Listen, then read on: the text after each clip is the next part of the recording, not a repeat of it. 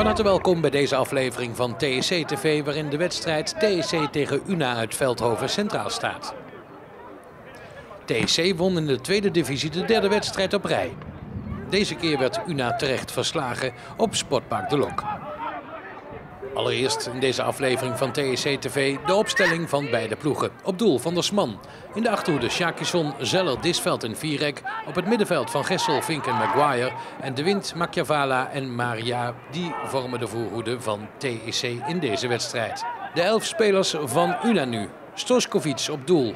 In de achterhoede Scheerlink, Van der Bomen, Tiebe en Van Weert. Tielemans, Van Boekel en Sebrechts op het middenveld en Van Wanrooy, Van der Gevel en Bogers. Zij vormen de voorhoede van Una uit Veldhoven. Het begin was voor Una in deze wedstrijd, dat meer initiatief had. Na acht minuten schoot Teun Sebrechts uit een voorzet van rechts Nick Tielemans maar net naast.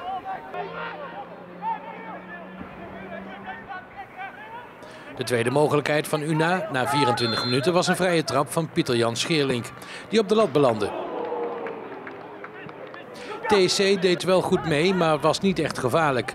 Toch kwam de thuisclub na 26 minuten op voorsprong. Het werd 1-0. Barry Maguire speelde daarin een hoofdrol. Hij veroverde op het middenveld de bal, stuurde Cutley de wind weg op rechts en was precies op tijd voor het doel om de voorzet van de wind af te ronden.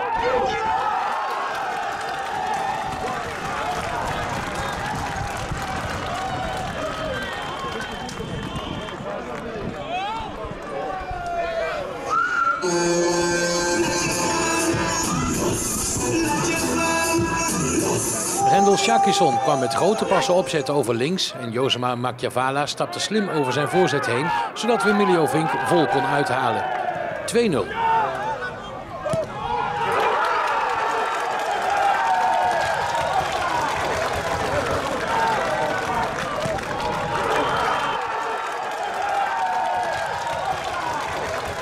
Er leek geen vuiltje aan de lucht, totdat Una dwars door het centrum in de 73ste minuut kwam opzetten en Nick van der Bomen, doelman van de Sman, kansloos liet. Het werd 2-1. Una rook een gelijkspel en kwam vervolgens diverse keren gevaarlijk opzetten. De Tielse verdediging gaf echter geen krimp. Wel hadden in de slotfases Gianluca Maria, invaller Troemeen Balrak en Nehemia Senaki de wedstrijd definitief in het slot moeten gooien, maar dat gebeurde niet. Zodoende bleef het tot het einde onnodig spannend. Het bleef echter bij 2-1, waardoor de drie punten op Sportpark de Lok bleven.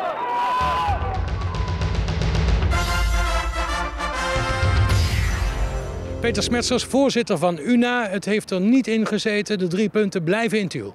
Ja, dat klopt. En uh, ja, wij hadden natuurlijk van tevoren wel gehoopt op minstens een gelijk spelletje.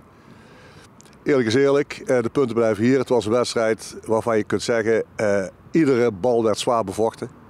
Twee ploegen die echt de punten ook heel hard nodig hebben. Dat is trouwens een interessant kenmerk natuurlijk van deze tweede divisie.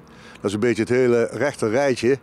Iedere keer moet knokken voor de punten. Dus... Ja, dat maakt die competitie leuk, hè? Maar er, er is vanuit de club... Maar ja, het leuke was geweest natuurlijk voor ons, hè? Als we hem hadden gewonnen. Daar moet ik wel even... zo, zo, simpel is het. Zo simpel is het. Uh, UNA is een van de, van de grotere amateurverenigingen in Nederland met ruim 1100 leden. Um, en hoe staan jullie er verder voor?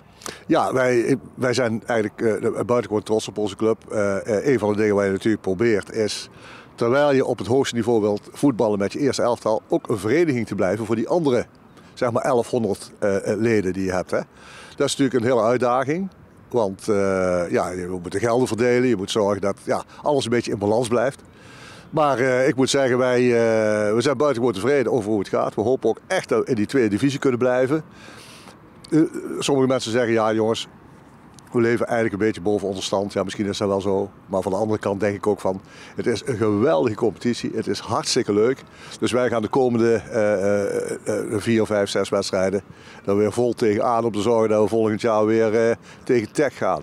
Nou, dan zullen we dat bij deze eens afspreken... dat we elkaar weer zien in de tweede divisie volgend seizoen. Nou, we dat maar afspreken. Buitengewoon. Jozema Machiavala, uh, hoe bevalt het jou hier in Tiel? Ja, heel goed. Ik... Ik kwam natuurlijk uh, op het laatste moment hier binnen. Eigenlijk gewoon om mee te trainen. En uiteindelijk uh, waren ze een beetje gesameerd van mij en de trainer kende mij al. En, uh, ja, ik, ik, heb er hier naar mijn zin.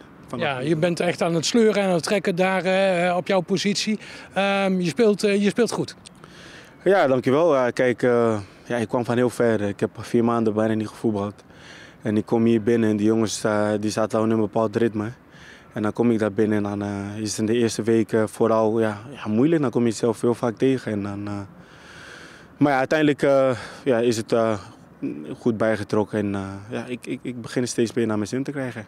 Um, als je kijkt naar, naar de toekomst, waar ligt die voor jou? Ja, kijk, ik wil nog niet te ver in de toekomst te kijken. Want ja, ik, ik, ik, ik ben hier met een doel, dat is eerst fit worden. En dat is de laatste weken steeds meer goed aan het komen. Nou, voor TC is te hopen dat je hier op Sportpark de Lokje kunt, kunt blijven doen. Ja, nee, zeker. ik heb hier naar mijn zin. vanaf de eerste dag voel ik me hier welkom, warme club, goede supporters. Ja, ja we, zullen, we zullen zien waar het gaat eindigen. Gianluca Maria, jij speelde geen gelukkige wedstrijd. Geen gelukkige wedstrijd. Uh, nou ja, goed, je had gewoon een paar keer die bal erin moeten jensen. Ja, klopt. Maar uh, als dat niet gebeurt, wil niet zeggen dat ik een uh, ongelukkige wedstrijd speel. Ik bedoel, we hebben drie punten gepakt en dat is op dit moment het belangrijkste, denk ik. En um, je hebt natuurlijk wel gewerkt als een paard. Hè? Hoe was dat in het veld? Ja, het is elke week, sinds ik hier ben begonnen, is het ja, elke week gewoon hard werken als een paard, zoals je zegt ja, je, kan, je kan geen moment verzwakken op dit moment, in de fase waar wij nu in zitten. Dus ja, het zal, elke week zal, dit, zal ik deze, ja, dit moeten leveren. Ja, volgende week de derby tegen FC Linde. Heb je daar al wat van meegekregen? Um, ja, ik heb wel gehoord dat het hier thuis dat het aardig vol was. Er was veel publiek. En ik verwacht dat het uit dat het nog drukker zal worden. Het moment, ja, ook waar we nu in staan, positie natuurlijk. ja, om handhaven natuurlijk, dat is heel belangrijk. En ik denk dat het nou veel drukker gaat worden. Ja. Dat het wel een, een sfeertje zal zijn. Kunnen we dan afspreken dat de ballen die er vandaag niet in gingen er dan wel in gaan? Dat kunnen we afspreken, ja. Dan doen we dat bij deze. Hey, um, jij woont op dit moment in, uh, in Eindhoven, hè? Ja. Uh, maar jij was al eerder in Tiel geweest, hè? Waarom ja. precies? Uh, ik ben vroeger, ja, dat is wel even geleden hoor, denk ik vijf jaar geleden, toen ik nog ja, bij PSV speelde. Dat was toen in de A1. Ben ik, heb ik een tatoeëerder leren kennen die hier in Tiel woonde ben ik ja, samen met een oud teamgenoot van mij, Memphis, uh, Depay, kennen jullie wel, uh, hier naartoe gegaan. En ja, heb ik hier getatoeëerd. Ja, en het is ook de mooiste tattoo die jij op je arm hebt, hè? Kun je hem laten zien? Ja, dus, dus deze arm heb ik, heb ik hier getatoeëerd. Het is niet mijn mooiste tattoo, maar ja, ik ben er wel blij mee. Was je tevreden over het spel? Nee, ik vond het, ik vond het eigenlijk een, een, een hele matige wedstrijd. Maar ook niet alleen van onze kant, maar ook van hun kant. Je hebt, om een goede wedstrijd te krijgen heb je twee ploegen nodig. Ik heb, ik heb niet echt de intentie gezien bij, uh, bij UNA dat ze echt hier kwamen om, om die wedstrijd te winnen. En toch was het een zes-punten-wedstrijd, ja. zoals dat heet. Ja, voor ons was het een zes-punten-wedstrijd, maar voor hun, hun zeker. Hun staan één punt achter. Dus ja, dan is het uh, voor hun een, een, een punt, uh, drie punten om eroverheen te gaan bij ons. Maar goed, dat gebeurde gelukkig dus niet. Dus maar, en, en ik vind ook dat wij uh, die wedstrijd ook wel gedomineerd hebben. Barry Maguire, hij maakt het verschil ja. hè, bij TSC. Ja, dat doet hij gelukkig al weken. En hij scoort weer een hele belangrijke goal. Hij blokt een bal aan de rechterkant. Er komt een, een kans, een voorzet assist uit van, van, van Kurtley. Die de voordeel krijgen. En, en hij, hij, hij kopt hem gewoon binnen. Dus ja, fantastisch gedaan. Het is een knotsgekke competitie. Goed, ja. AZ, jong AZ is kampioen geworden. Ja. Onderin ongemeen spannend. Op dit moment staat uh, TSC gedeeld tiende met FC Linde. Volgende ja. week eroverheen?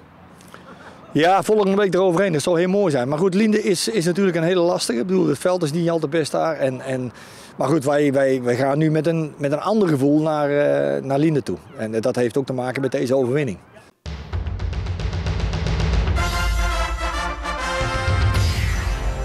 Dan volgen nu de uitslagen van de wedstrijden gespeeld op 1 en 2 april.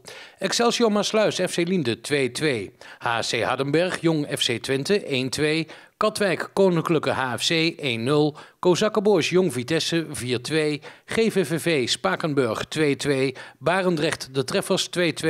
Jong AZ VVSB 7-0. Jong Sparta AFC 3-1 en TC Una 2-1. Dan de stand per 2 april 2017. Kampioen van de tweede divisie Jong AZ. 69 punten uit 29 gespeelde wedstrijden.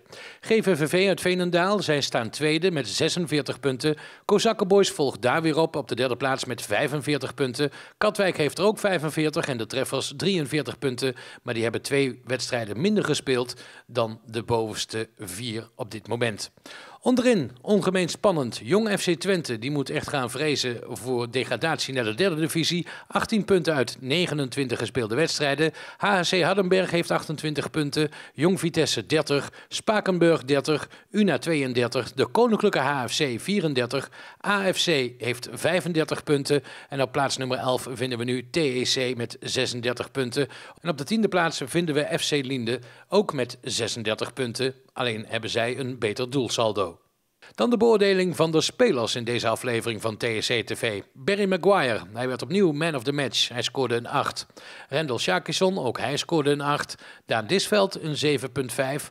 Michiel Zeller, Sebastian van der Sman, Bart Westerlaken, Matthijs van Gessel en Josema Macchiavala scoorden alle een 7.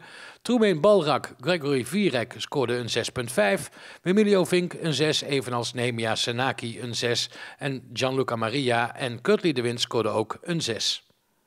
De eerstvolgende wedstrijd van TEC is op zondag 9 april. Dan wordt om half drie afgetrapt op Sportpark de Abdijhof tegen FC Linde in Linde. Tot zover deze aflevering van TEC TV. Graag tot de volgende keer.